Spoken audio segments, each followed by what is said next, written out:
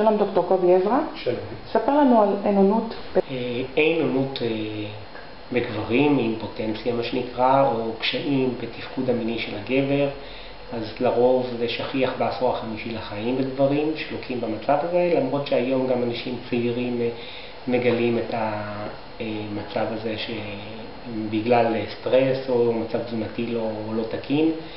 אז במצב ישנה קושי בזקפה של איבר המין הגברי עקב זרימת דם לקויה או עקב מצבי סטרס או עקב חסימה בזרימת הדם. תסמינים של, של המצב, אז ירידה בלבידו, בתאווה המינית, היעדר זקפה או זקפה חלקית או לא קשה, חוסר יכולת בעצם להביא לסיפוק מיני גם את הצד, את הצד השני וכשל בשפיכה או שפיכה מוקדמת כפי שציינתי. ישנם טיפולים טבעיים כמובן שיכולים מאוד מאוד לסייע במצב של אין אונות גברית, כגון השימוש בחומצת האמינו הארגינין, זאת חומצת אמינו ששומרת על רמות גבוהות של nitric oxide, שהוא מאוד חשוב להרחבת כלי הדם ההיקפיים בגוף, וביניהם גם כן ליצור זקפה יעילה וארוכת טווח. במקרים של אין-אונות כתוצאה מהמצב הזה, ישנה בעצם מחקרים שאומרים שנטילה של מספר גרמים של ארגינין או ארגינין, ארגינין אלפא קטוגלוטרט שהוא יותר יעיל, יוצרת אה, זרימת דם טובה יותר אל איבר המין הגברי, וכתוצאה מכך אה, תפקוד תקין יותר.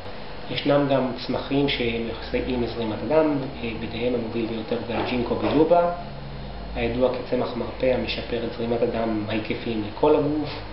לכן הוא גם מסייע למצבים של אלצהיימר על רקע בעיות של זרימת דם.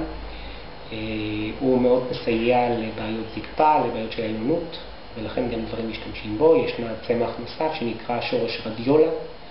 צמח הרדיולה בעצם הוא מיועד למצבים של יותר מצבי סטרס, הוא גם מרגיע, הוא מסייע לירידה בתפקוד מיני ירוד. אה, הרדיולה בעצם יכול להגביר את התפקוד המיני ותרומתו לחיזוק הגוף באופן כללי.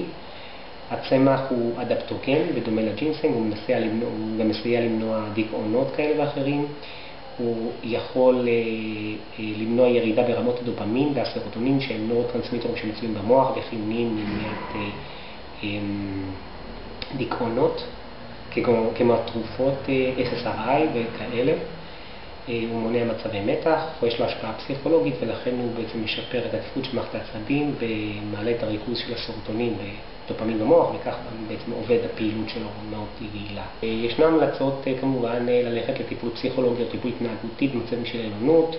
ישנו הצורך לבדוק כמובן מצבים של עישון, מתח וגורמים כאלה שיכולים ליצור מצב של חוסר אספקת דם. אה, כמו כן גם לבדוק בדיקה הורמונלית, לבדוק רמה של הורמונים מין נשיים, פרולקטין וטסטוסטרון של הורמון גברי, שהוא מאוד חשוב לראות באמת הרמה שלו. המלצות תזונתיות, אז אה, מומלץ להימנע ממזון שהוא עשיר בשומן מהחי, כגון אה, גם מטוגנים וגם בשרים וכבדים ואיברים פנימיים וסוכרים פשוטים, כי אלה בעצם סותמים את מחזור, או מקטינים את מחזור הדם הפריפרי ומצמצמים אותו.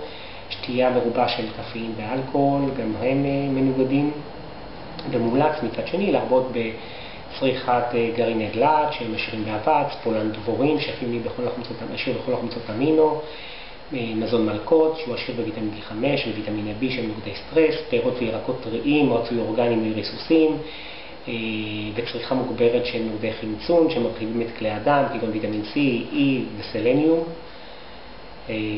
הם גורמים מאוד מאוד חשובים לתפקוד.